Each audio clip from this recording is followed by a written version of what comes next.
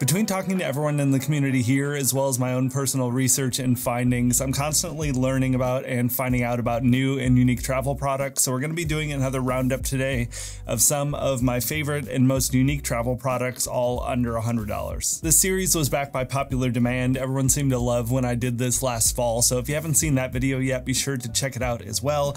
It's an entirely different list. I wanted to make sure there wasn't any overlap. But without any further ado, let's get into the items. The first thing I wanted to talk about is the ESR HaloLock magnetic wireless charger and kickstand. Obviously really simple and intuitive with MagSafe. It just clips onto the back of your phone and rotates around pretty easily so you can get a number of different angles. You can plug this in and charge at 7.5 watts since it's a non-Apple device. Comes in at 25 bucks, which is great. The kickstand portion works really well. The lock is strong even with the 12 Pro Max. No issues with the MagSafe aspect. Uh, you have a wide variety of angles and the charger works as advertised. Next up, we have a new item in category that I historically haven't really needed for my personal travels, but have gotten so many questions about over the years with some of the loadouts I've shared, and that is an ultralight packable travel towel. This is the Sea to Summit Airlite Towel. I tried a handful of different ones over the past few months to test and see so I could kind of share my findings with the channel here,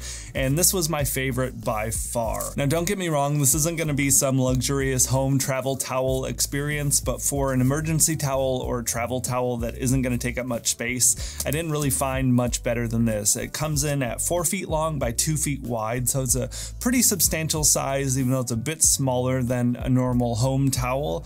Um, I've used this at home for testing for a pretty extended period of time, and it is small, but it works, and even my hairy body is able to be dried completely. It also dries really, really fast, and yeah, 47 grams grams is what it comes out as, and it packs up really, really small. Definitely thin and light. You have a handful of different color options, but yeah, this thing has been really impressive just to see how big it gets and how small it's able to pack down and still be absorbent and serviceable as a towel to use when you get out of the shower.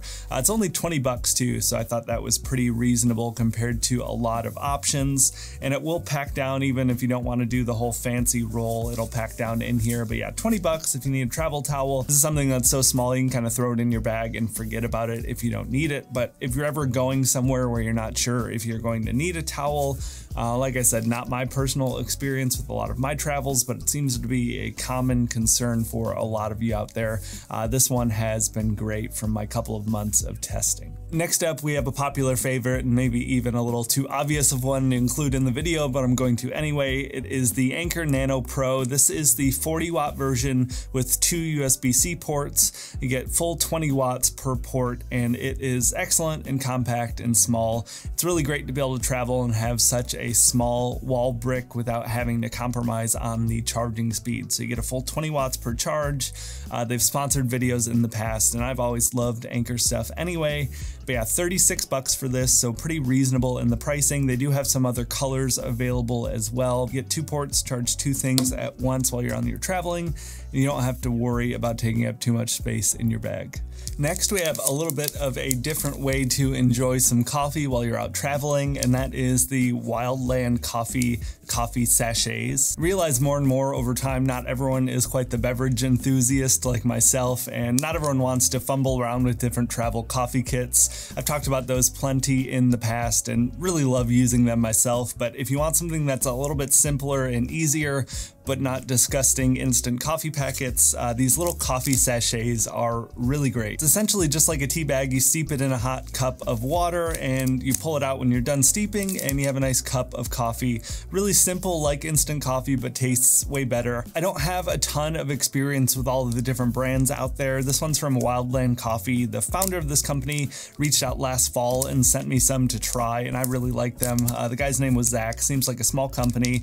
Uh, they have good ethically sourced sourced Brazilian coffee beans that they use, but I would also love to hear, I know there are a lot of different options like this, if you have any experience with different brands and things, because I do use these for camping and backpacking sometimes. I typically will bring a coffee kit of some sort, whether it's the Pakt coffee kit or an AeroPress Go. Those are my two go-to favorites for travel situations, but if you need something really convenient or if you're looking to really save some space in your bag, these are great and so substantially better than the instant coffee packets. While we're on the topic of coffee, I want to take a minute to thank the sponsor of today's video, and that is Third Wave Water.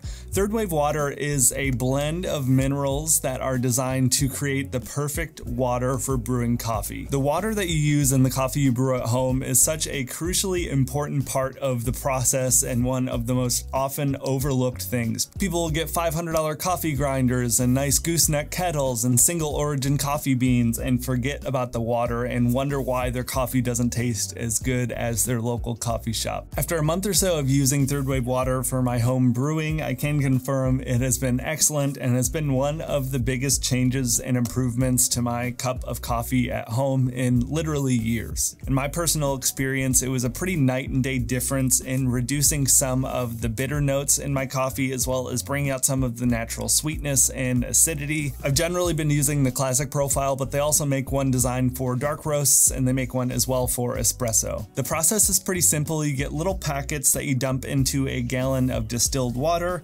shake, and just kind of set aside and use that to put into your kettle every morning when you're making your coffee. All in all, I've been really impressed with Third Wave Water since I've been using it. I'm not exaggerating, this has been the single biggest jump in the quality of my home coffee in years.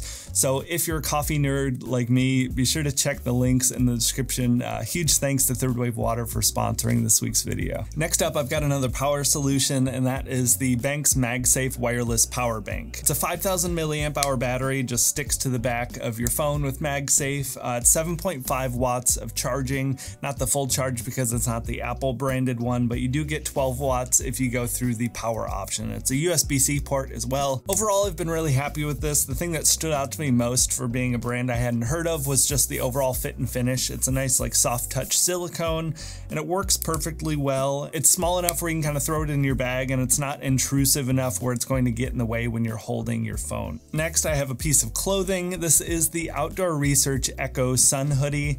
This was a new pickup for me this year. I've had it for a couple of months for hiking and backpacking. I had the Patagonia Cool Capilene Sun Hoodie that I used all through last year and maybe the year before a little bit. I can't remember exactly. I started to get some rolling on the bottom hem and it was starting to shrink up a bit, so I wanted to try something different. Uh, so far, the first couple of months of using this for hiking and backpacking has been excellent. Sun hoodies are also a really great option for kind of regular travel depending on how you travel or your style of travel or what you're going to be doing on any specific trip. And if you're not going to be spending much time outside, this is completely unnecessary. But I know for me, even if I'm traveling to a city, I'm usually spending the good majority of the day wandering around the city, kind of taking in the sights, uh, trying out new coffee shops, restaurants, things like that. I have very fair skin and burn really easily, and I really don't want to get skin cancer. So I really try and protect my skin as much as possible when I'm going to be spending more than like 15 minutes outside. It's a little ridiculous, I know. I really like the cut and fit of this though. It has a hood if you need to wear one if the sun's behind you. It also has thumb holes, which is more of a hiking thing, but I suppose you could use it for normal day-to-day -day travel if you need. But it does have some odor management technology in the fabric as well, um, so that will help over time to prevent any sort of stink if you're sweating. Again, more of a hiking specific problem, but still good for regular travel as well. Uh, the full price of this is is $69, but I would strongly encourage you to check around for sales and wait for one because it is constantly on sale in one store or another. I think I got mine for like $45. I can't remember exactly where that was, but check around before you buy one. I would highly recommend it, especially for the discounted price if you hold off and get one there. It's the Outdoor Research Echo Sun Hoodie. This was one of the most highly recommended products I've gotten from all of you in the community here, and that is the Nanobag Ultralight Compact Shopping Bag. It was recommended to me as an alternative to my B Green reusable shopping bags that I usually keep in my EDC. Those are a little bit bigger and bulkier, but they are a little bit sturdier and have a lot more capacity in comparison. So it's kind of a trade-off thing, but for travel specifically, I think this is a lot more viable of an option just because it packs down so small. You can fit it in your pocket, fit it into your sling bag, fit it into your purse, and just kind of forget about it. It's 14 liters in capacity and $14. Um, there's not much else to say about it. It's pretty thin fabric, but I've used it for groceries for a few weeks now since I got it, and it's held up perfectly well. It doesn't seem like it's going to break. Um, and based on the amount of you that recommended it to me, I don't think there would be any issues. And I have tried a couple different of these like ultra compact reusable bags before. I tried one from Sea to Summit, their Ultra Sil Nano bag and I ended up returning it because it was too difficult to get into the stuff sack. I think a lot of it, it was a really slippery material. Um, this material is much easier than the Sea to Summit one that is very similar. So that was why I wanted to recommend this one. I was worried that this one would be the same as the Sea to Summit, but it's held up really well and packs down much easier than the others I've tried in this category. So this is a great thing just to throw in. You never know if you have carry out or if you're out shopping in a city and you just don't have a full backpack with you to store stuff. You don't want to be carrying around a bunch of shopping bags all day or just having to carry stuff loose in your hands while you explore a city. Really small, compact, lightweight, inexpensive, just a great addition to most people's bags. Last item on the list is the Pakt Anywhere 5 liter sling bag. Most sling bags are going to be perfectly fine for travel, so if you already have one, you're probably good already. But if you are in the market for a new one, the Pakt 5 liter sling is great. Uh, I also have been using the Aer Day Sling 3 Max. Um, that's a 6 liter bag, so pretty similar in size to this, but this one packs down a lot flatter and it's just a little bit easier to pack. And one thing I really like about this one compared to that one is you can actually tuck away the shoulder strap and use it on the plane as just like a little plane bag for snacks or tech or anything like that. The shape is really nice to be able to hold a lot and I really like that they included some gussets on the side so when you unzip it, you, can keep it on and unzip it. You don't have to worry about all of your stuff falling out. Uh, the Pakt Anywhere collection is actually shipping from pre-orders finally um, this month. I'm not exactly sure on the dates, but if the pre-order is still going on, they are offering a bit of a discount on these. But by the time this video goes live, those might be live and shipping normally as well. I'm not sure. I'll link whatever I can in the description below, but I've had this for about a year, maybe even a little bit more now at this point, and it is a great option as a sling bag. That's gonna wrap it up for this edition of Travel Gear Under $100 though. I really hoped you found some useful things in here.